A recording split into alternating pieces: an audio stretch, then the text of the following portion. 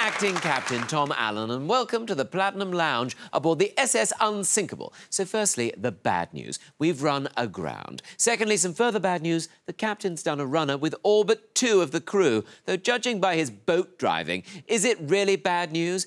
I have assumed the role of captain, and why not? I suit epaulets, I did a week of Sea Scouts, and I use phrases like boat driving.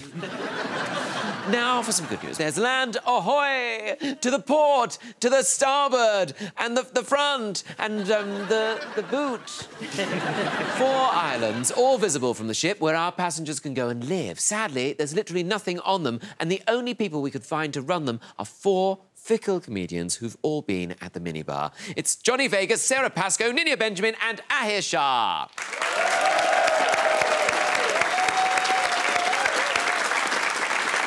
As the resources on this boat slowly dwindle, our passengers need somewhere to live, so our comedians will be competing to attract them by filling their islands with their favourite things, like Julie Andrews. At the end of the episode, this lot from below decks will be voting for the island with the best stuff on it and moving there.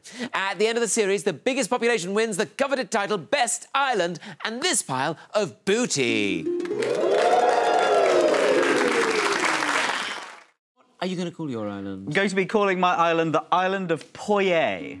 Poye. Mm. Now, explain to me what this is. So, in the early 19th century, there was a Scottish guy called Gregor MacGregor. It's the most Scottish name I've ever heard. Extraordinarily, yes. So, Gregor MacGregor uh, raised lots and lots of money uh, in London and in Paris, I think, uh, to fund a colonial expedition to the magical and fertile land of Poye in the Caribbean. Uh, the only problem was that Poye did not exist and he just ran away with everyone's money. So, this. He made up an island and said, everyone, let's go colonise it. And they were like, that sounds brilliant. We love colonising places. Yes, this was white people in the 19th century. I think 250 people went to find it. 125 of them died. we don't feel sorry for those people. True, maybe we shouldn't feel sorry for them. They were for them. stealing other people's land. But I don't know if they did teach us a lesson other than they just died. That's the biggest lesson of all. Yeah. Oh, that's true. So, But, so, but Dick, does this island actually exist, though? Just for the people who might be choosing to go there? what could be better than a fake island that made someone very rich than a real island that's going to make me very rich? OK, all right, we're going to hear from Ahir now. Now, oh, what sort of bag are you going to... Well, so I've taken the knowledge that there are going to be a lot of pensioners on the cruise. Yes. And I want sort of, you know, those like shopping trolley ones that pensioners like pull along. Oh, yeah. Which seemingly have more capacity than the TARDIS. Yes. Uh, and they're all like, I don't know, like tartan maybe. Tartan is perfect, Uh, yeah. But importantly for this, because there's going to be a lot of beaches, we've not got roads and everything like that. So they're going to have like all-terrain wheels, like on a dune buggy or something Oh, like that. Oh, that's clever. So you've got the sort of carrying capacity of an OAP stocking up at Aldi, and, Which is huge. And the sort of devil may care dune buggy attitude uh, of Timothy Chalamet. So, so like a shopping trolley that you could sort of take into the Gulf War. yes, Okay, yes, perfect. precisely. Do you know I've got a shopping trolley? I ain't no OAP, right? I've very got, useful. Yes, I do. I've got a shopping trolley. It's red, and my shopping trolley actually has all-terrain wheels.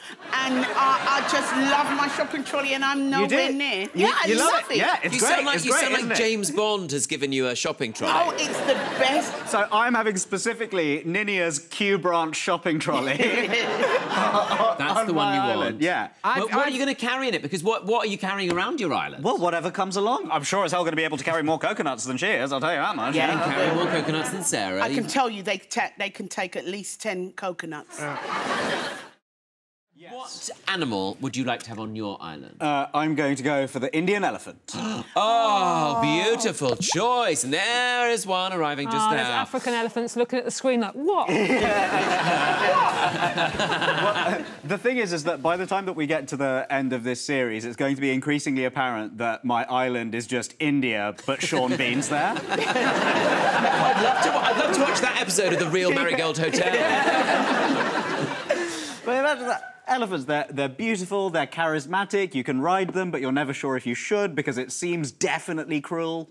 Is it, though? You see people doing it and you're like, I'm sure that. The elephant's not enjoying it. Yeah. Also, we can protect them because uh, they're not going to get poached here for their ivory or anything like that. That's, a very Oh, nice. important thing to Nobody be able plays to the do. piano on Poye. Uh, also, they uh, never forget Uh, and so they're very well suited to be our first historians. And do you think Sean Bean maybe will be riding round on one as chief of police? I think that he could have a police one, yes. A police one. It would be good for stopping riots as well because it has like a built-in like water cannon at the front to calm everyone down. And also, cool if anything's kicking off, then everyone's like, like, say a fight's about to start, and then you'd both just be like, is that Sean Bean on an elephant? I mean, the thing about elephants as well, of course, as we can demonstrate this evening, they're great for starting awkward conversations.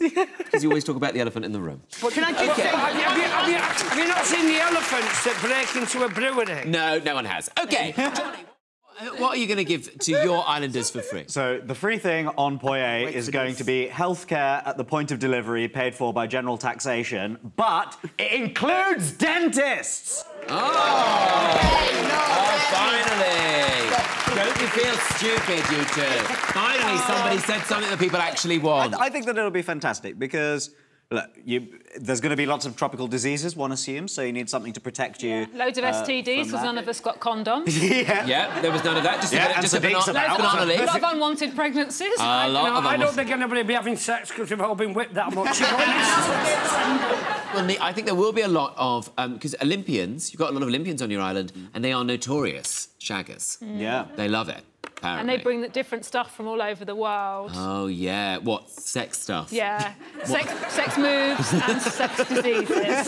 What What do you think it's going to involve? You know, to set up a healthcare system. What do you think you're going to need? Uh, I think it's, it's going to be pretty expensive because I think that dentists are accustomed to a certain kind of lifestyle. Do you know what I mean? Like, I went, like my dentist is a lovely man, but it costs like 85 quid to say hello to it. Uh, right, and I'm like, like every time I come out of that dentist's office, I'm like, do I need teeth? You do, even the record. You do need them. But like, my grandmother didn't have any teeth. She was perfectly happy. Yeah, my grandmother didn't either. Put some fake ones in. Great. I hear. Yes. Uh, what is your sport? Uh, I am going to go for the sport that is, in my opinion, uh, the greatest. No shade to Sara on her choice, but I am going for the sport of cricket. Oh,